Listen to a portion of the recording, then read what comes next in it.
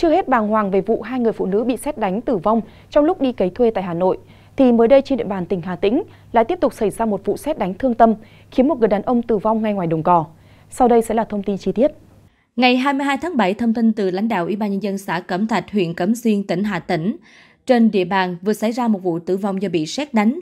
Nạn nhân là anh NBH, 49 tuổi, trú tại thôn Na Trung, xã Cẩm Thạch.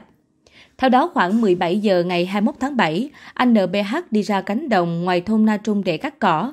Một lúc sau trời bỗng nhiên đổ mưa to kèm theo sấm sét. Lúc này không may một cơn sét đánh xuống khiến anh H tử vong tại chỗ. Phát hiện sự việc, chính quyền địa phương cùng người thân đã có mặt tại hiện trường để làm thủ tục đưa thi thể anh H về nhà.